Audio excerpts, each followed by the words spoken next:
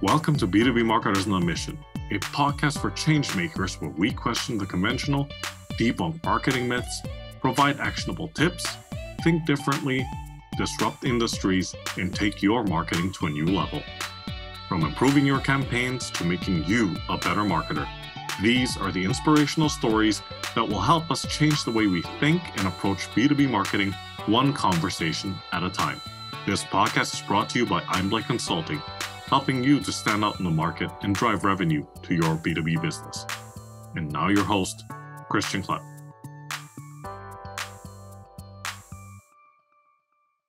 Welcome, everyone, to this episode of B2B Marketers on a Mission. This is the show where we help you to question the conventional, think differently, disrupt your industry, and take your marketing to new heights. This is your host, Christian Klepp, and today I'm joined by someone on a mission to make your B2B business famous in a specific niche. So, coming to us from London, England, Mr. Tom Hunt. Welcome to the show, sir. Christian, it's an absolute honor to be here. Great to be connected, Tom, and I'm really looking forward to this conversation. Um, if you don't mind, we'll just dive right in because we've got quite a bit, quite a bit of ground to cover. yes, please. Let's do it. All right. So, Tom, I'd like to go back to something we discussed in a previous conversation. And I really like that quote you mentioned. So, let me see if I can quote you accurately here. Interruption is the enemy. Couldn't agree more. In fact, you wrote two posts about it on LinkedIn, and that got some pretty decent engagement. So, for the sake of the audience that are not aware of these posts, could you just elaborate on those a little bit more and why you think these interruptions are doing more harm than good to B2B brands? Yeah, I think the, the fundamental difference between B2B and B2C marketing is like the sales cycle. So you can convince someone to buy my flatmate, he sells deodorant online and he runs Facebook ads and he puts the ads up, he gets the buy because it's like a 10 pound buy subscription deodorant. Um, but if I'm trying to sell a 50 grand a year podcast service to a B2B company, then that's like a long sales cycle. And so for me, then what this means in the B2B space when we're trying to do marketing is all we really want to do is make people like and trust us. Because if we do that, when they do finally come round to wanting to buy our thing, then they'll come to us. So it's not just the length of the sales cycle, it's also the fact that the majority of the buyers are not necessarily ready to buy at that time point. Like I could buy deodorant at any point. Maybe I'm only going to buy a podcast service uh, like once every three years. And so if we can get people to like and trust us, then they're going to come to us when it's time to buy. And so, what the the absolute like wrong thing to do in this case is to make anybody that could be a buyer unhappy with you or your brand. Because if you do that, that's the opposite of them liking and trusting you. They're not going to buy from you. And so then we have to understand how we could possibly make people not like us. And one of the ways is through interrupting. And what we're essentially doing is stealing someone's attention for something that they don't think is valuable for them. So, what form could this take? It could be a LinkedIn ad that is not relevant. It could be an email that is not invited. Uh, or it could be a piece of content, whether it's audio, video, or written, put on the internet um, that it like isn't good. And so really the antidote to interruption is to truly understand these people that you're trying to make like and trust you um, these people that you're trying to help in their careers or in their lives and then create information that will actually make them like and trust you. Because if the information is good it doesn't matter what mechanism you're delivering it to them whether that's like a facebook ad a linkedin ad or a cold email if the information is good then it's not an interruption because it's welcomed. And that means and, and being welcomed is the key to to being liked and trusted, which is then the key to getting that inbound uh, demo request, lead form generation, etc. Absolutely, absolutely. You you touched on something here, and I'd like to um, uh, go back to that and discuss that a little bit further because you're talking about creating information that's relevant to the target audience, the potential prospects. I mean, whatever you'd like to call them. Um, I've heard other people on the show say, um, "Oh, you've got to add value to the target audience," but we all know that that that, that can be so many things, right? But give us an example of, um, you know, you you talked about like and trust. How can you get them to like and trust you through content? Yeah. So the I like to try and understand what words mean, right? And the, the word value or giving value is thrown around so much, I don't think people truly understand. Um, if you really break down what the word means, uh, value is actually the denormalization of the process to value or valuing. And uh, to value something is simply just to prioritize it. And so if you're trying to create something that somebody values, then it is just their own subjective prioritization of that thing. And so, therefore, in order to create something that people like, uh, you have to understand what their problems are or what they're trying to achieve. And so, this is where this is probably the biggest fault I see in like any marketer, B2B or B2C, is not really understanding the problems or the goals of the person they're trying to sell to. Because if we really understand that, it's going to be much more easier to make information that is going to add value to their lives and then make them like or trust you. Maybe I'll try and get like more specific. So probably the best I've been in like the marketing game for like 10, 12 years. Probably the best content I've ever created was about three years ago. I started doing like really big deep dives into how SaaS companies have grown. It actually started, so I actually started as a daily email where I do like one little SaaS growth hack, but then that transitioned into being like big two to three to 4,000 word blog posts on how ClickFunnels or Zapier or SEMrush had grown. And I would spend like a week writing these things. there'd be like 17 steps and it would be screenshots. I'd speak to the companies if I could to get their own hacks and I'd write them all out into these monstrous, like very actionable blog posts. And so, and these were like wildly successful. I had people trying to like buy the site. I had people trying to sponsor, people trying to pay me to write them for their own blogs, and I did that for Nathan Latka's blog, one on ClickFunnels. Um, and so the question is, so let's take, put this through the filter of what we just discussed. Like, who is the ideal person I was trying to get, trying to help there or get the attention of? It was a SaaS marketer. And what what's their what are they trying to achieve? What's their biggest problem? They probably just want to increase like signups or demo requests for their software. And so what did I do?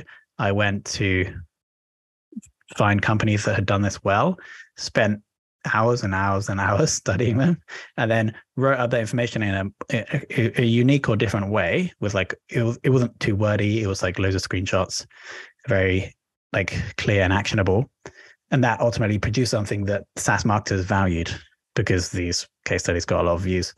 So like I, I won't say I'm perfect in creating content and not all of my content really like crushes and therefore by definition it's not valuable and may even be interrupting but that was probably the best time. That was the best, uh, the most valuable piece of content I ever created. And we can link below to the blog where all they are if people want to check them out.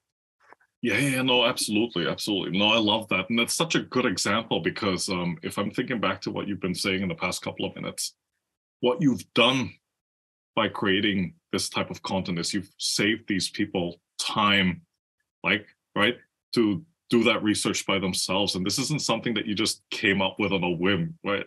Like um just quoting what you just said uh you actually went and spent hours or perhaps even days or weeks um, studying and probably talking to these people and understanding what their problems were and then creating these um, you know this content that's actionable that they can act upon. Like if i'm reading tom hunt's article right now and i walk away from it what are like the top five things that i can do right right at that point in time right?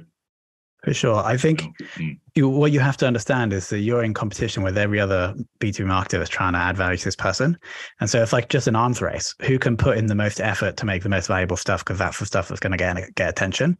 Fortunately for me i think i chose three four years ago saas marketing wasn't as popular as it was now. There wasn't any content like this. So i i was like i was one of the best or I, I maybe i got lucky there and so I think the big challenge is people not having the time or the, money like to put in the work to become the best to get the attention.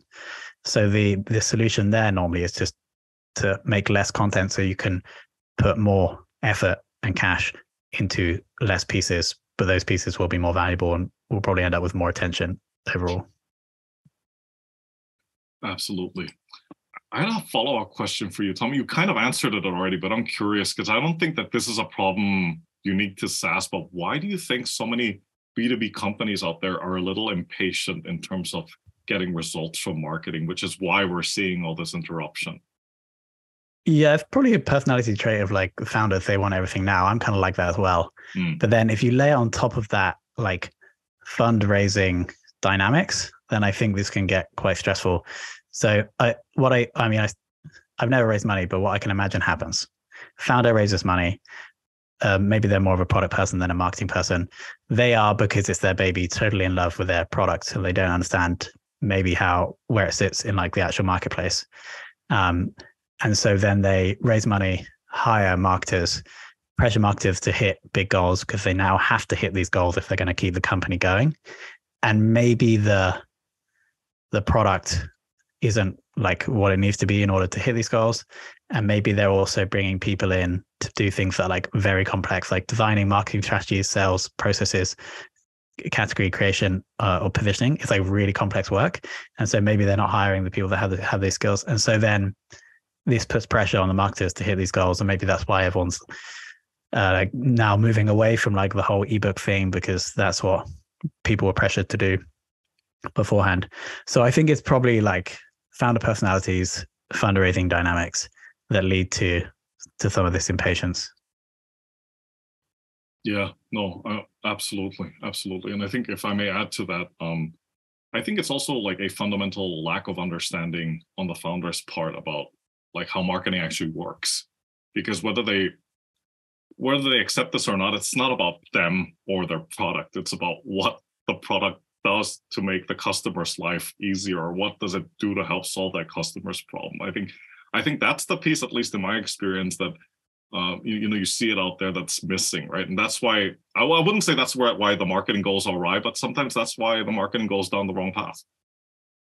Yeah, totally agree. This is why when I see when I look at a software company and I see the founder has a background like sales and marketing, at least one of the founders, then I'm probably like a little bit more more bullish about the the company. Absolutely, absolutely. On to the next question, which I think you will have no problem answering at all. Um, talk to us about how you think, you know, with that context in mind, how you think using an approach like a niche focused podcast, how does that add value to a B2B target audience? Yeah, so I think this ties in very well to what we've just been discussing is can we create information that is valuable to the person we're trying to to make like and trust us and it's better than everything else on the market. And so the first thing that we, that we need to make sure we do is, or, or the, the ability for us to be the best increases the more narrow our content is, the more narrow the focus is. Uh, because if if we start a marketing podcast, we're up against companies that have a lot more time and money than us, probably. Whereas if we create an email marketing podcast, that's even better. If we create an open rate focused podcast, then we're going to be number one in six months. And our content is going to be the best email marketing open rate content on the internet. And so if we are able to do this, create the show, create content that's better than any other shows in that niche, then in theory, the the people that listen to the show are going to like and trust us more. And as we said before, B2B buyers are probably only in the market for a solution, I don't know, maybe 5% of the time. Um, and their sales sales cycles are really long. So we just need to ensure that when our ideal buyers come into the market, they they like and trust us, and we do that by giving information to them that helps them in their in their lives or in their careers. Yeah, yeah, that's absolutely right. That's absolutely right. Um, you touched on some of these earlier, but um, this is an opportunity to like just showcase your company as well. Like, talk to us about a challenge that you've helped a client to solve in the past 12 months? Just one. Yeah, so uh, we because we only do one thing, I guess the the challenge that all of our clients have is that they want to be more well known in specific niches, and so how we attack this process is by following what I like to call the fame formula. Two steps, very simple. The first step is, and if you think about anybody who's ever got famous, they do it this way. So first step is just create a lot of content consistently that's really good. And consistently means like years. So if we think about Taylor Swift, for example, she got really, really good at creating country music. And then she got really, really good at creating pop music. Um, which is great. And that this will get you on the road to becoming famous, but it isn't everything because you need step two. Step two is being seen around other famous people within that specific niche. And so Taylor Swift, obviously, she did that in country. Then she went on other country music artists' albums. She brought them on hers. And then she just did that in pop music as well. She went on Ed Sheeran songs. Ed Sheeran brought her on her songs. And so here's exactly what we would do with one of our clients is that we choose a niche that's specifically small so we can create the best content in that space and become the number one show. And then we just want to be uh, or get really good releasing that content, get better and better every time. But then speed up the fame process by being seen around other famous people in that niche. And we do that by bringing other people that know about that topic, ideally have an audience or some brand awareness in that topic, and bring them on the show. And if people in that market consistently see our brand or our host, which is normally someone from the client, um, exposed, well, creating this content and then being exposed or connected to the other famous people, then this is how our clients would become famous.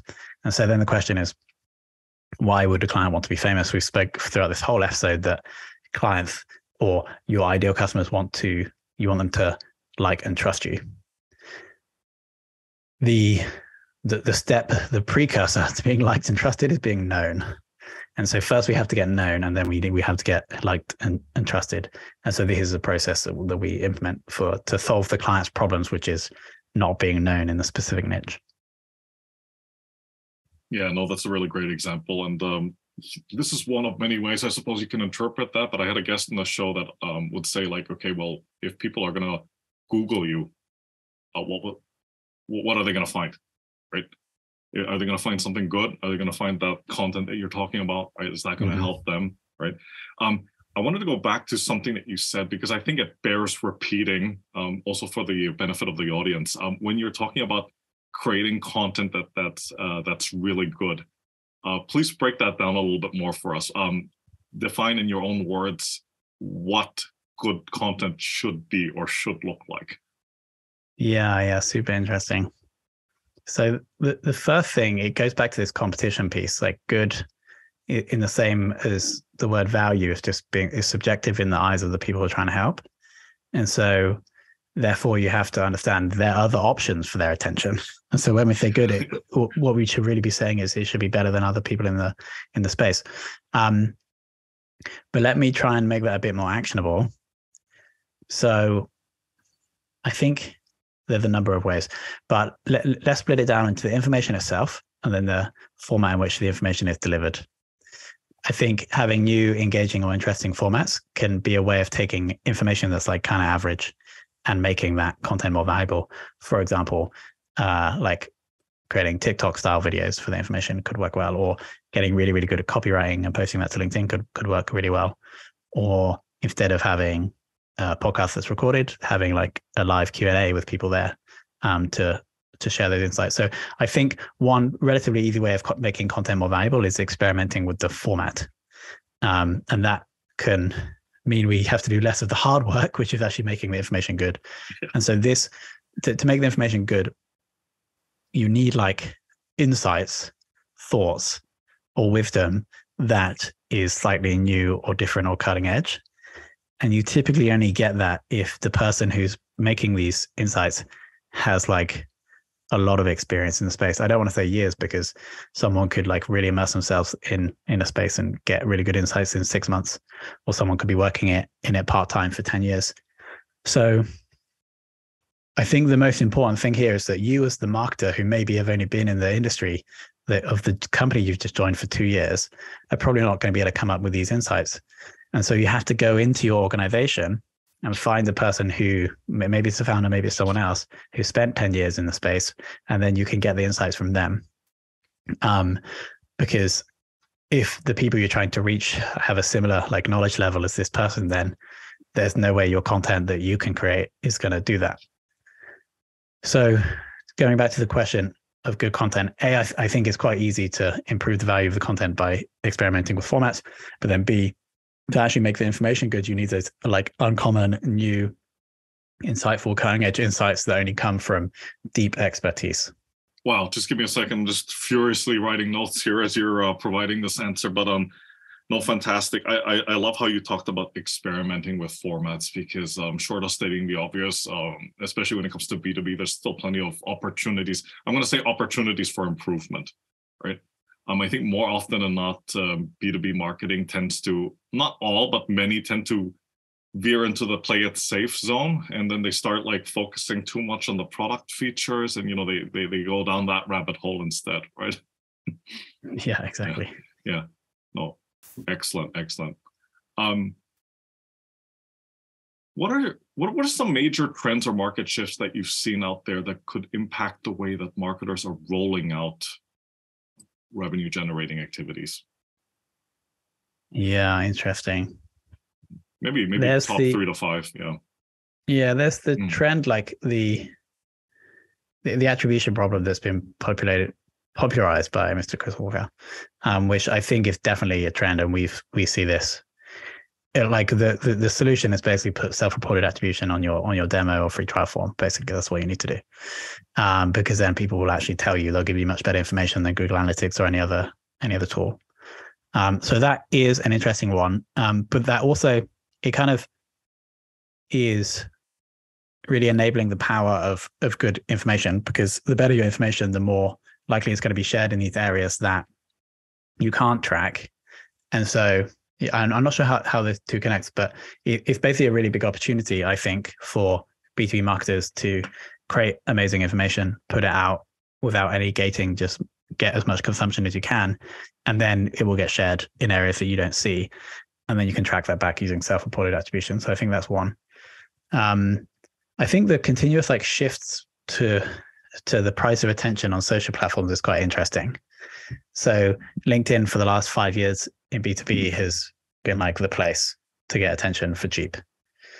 Um, but I mean, I'm seeing this now, and other people are also seeing like decreases in in impressions. And so it, makes sense whenever a platform has cheap impressions, people find out about it, they rush to the platform, and then you it's harder to get the impressions the, the price of the impressions go up and this is for both paid and organic right and when i say the price of an organic post is you should be able to post something that was like six out of ten and get 10000 impressions now you post that and you get 1000 so the price is the time you have to put into the organic content versus the dollars if you're doing paid spend so I think that's interesting, and we'll see like what happens. What where the next one is. There's like a lot of talk about TikTok for B two B. Um, so that that could be the next one. So I think that's just interesting for B two B marketers to be aware of. I think obviously the chat G, GPT thing. I, I haven't made like a a real decision on this. It obviously is going to save a lot of time for for writers. Um, but and yeah, so actually, going back to the point I was making about like good content, that comes from like deep insights, which by definition, Chat GPT can't deliver because it's only looking at existing information. So new original insights can't come. And so maybe this means that the power or the the reward for good content is gonna skew more to the to the high to the higher like quality of, of content because more people can produce the average stuff.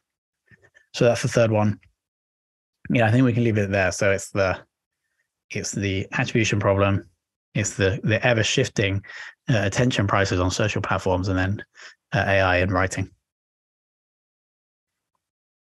Yeah, no, those are some those are some really great points, and I wanted to go back uh, to the third point. Uh, just what, what are your you, you talked about it a little bit, but what are your thoughts on um, automation and AI?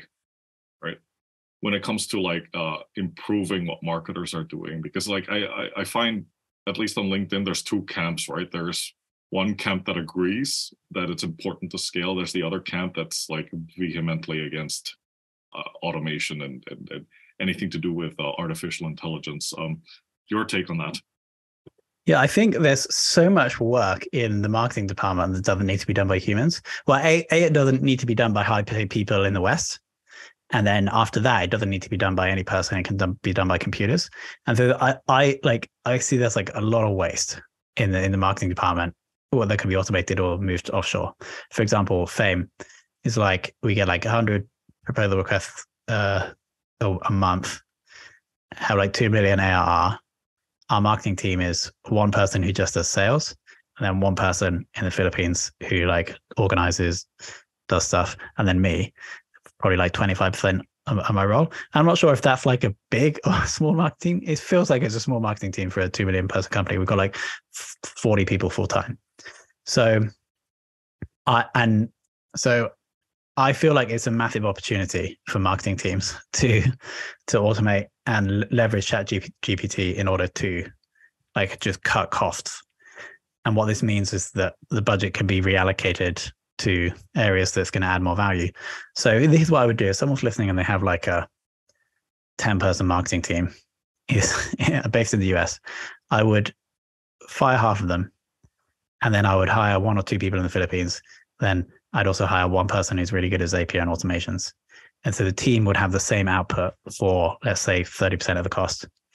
And then with that 30% of the cost, I would go find the most famous expert in the industry, even if they're not in marketing, hire them as like the evangelist, head of community, whatever. Um, and they're going to fuel the whole content machine that we've just been speaking about. Um, and so the, the marketing team is going to, it will be the same cost as the 10 person team before, but we're going to be so much more effective. If you don't mind me saying, that answer may or may not make you unpopular with, some members of the audience. But um, uh, I mean, jokes aside, Tom, I think you're highlighting a reality that we're we're seeing now in the market, right? Um, yeah, for sure. It's not necessarily just with marketing alone, but you've you are seeing all these companies, um, you know, with these massive layoffs and and whatnot, right? I mean, obviously there are several factors um, that that have led to that. You know, the companies um, going down that path, but uh, certainly um, some of the points that you've brought up in the past couple of minutes um, uh, undoubtedly are are are part of that, right? So it's a bit of a cause and effect cycle. Can we call this episode "Why You Should Fire Half Your Marketing Team"? Whichever, whatever you like, right? whatever you like. All right, that's the title. All right. Okay. So stay up on your soapbox for a second, because um, here comes the next question. Uh, what is a status quo in your area of expertise that you passionately disagree with, and why? Mm. It's probably what I see like the majority of B2B companies doing in their in the content in the content space and maybe it's a function of bigger companies like not actually being allowed to to create things that are like cutting edge or interesting, but just literally producing whether it's being distributed through social or on their blog, just information that is just not valuable. like, and it, it's just it compared to other people in the space, like it's just really not going to do anything for the person they're trying to help. And so, I think the big opportunity here is for the the B2B marketer to spend more time understanding who they're trying to help and then using someone who's an actual expert in the space. If you are great, if not, then finding that person in your business. Or and if they're not in the business, make a business case to the CEO to go and hire somebody, or even use some of the consultant to to produce the insights that are going to make people like and trust you. So I would say it's the the lack of information of content marketing that's like actually good Yeah, and it also it also go, goes back to what we were saying at the beginning of the conversation, right? It's this whole like um, playing it safe, uh, focusing on product features, focusing on solutions features that are uh, specific to the company itself, and there's a there's a bit of that in there, right? It's almost like they have to fulfill some kind of quota and check that box to make sure that okay, we've we've written about these products, and okay, so that so then we're good. yeah, I think so. That's just an awareness of like uh, uh, our client says as well, like, should we talk about our product in the podcast? We just have to understand what type of content we're creating, right? Because as soon as you yeah. mention your product, you bring that that content fuller, further down the funnel. There is yeah. place, there is a place for bottom of the funnel content, probably on your mm-hmm. website, product pages, whatever.